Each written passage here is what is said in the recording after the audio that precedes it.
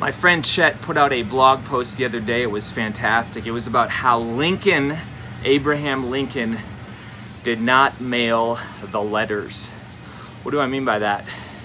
Those of you who know about Abraham Lincoln, you know he had a time where many things were happening. He had tons of haters. He had a, a country that was divided.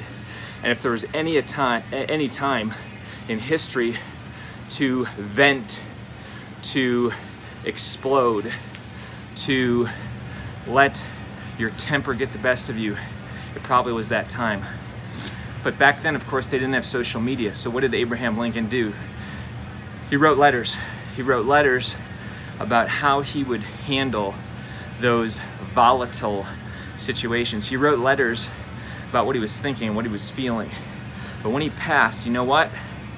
As my buddy Chet said recently, Chet showed how he didn't mail the letters. He did not mail many of those letters. He kept them. So why am I sharing this today? Because you, my friend, have social media at your fingertips. The moment you have a volatile situation, the moment you have something in your life that didn't go right, you have a device that in seconds you can share with the entire world how you feel, how people failed you, how people didn't deliver, how people are idiots. Whatever you're tempted to say on social media, you can say it without even having a filter. Abraham Lincoln had a filter and he didn't mail the letters. And many times, not all the time, but many times, you and I shouldn't post on social media when we are in an emotional state that's not controllable. Why?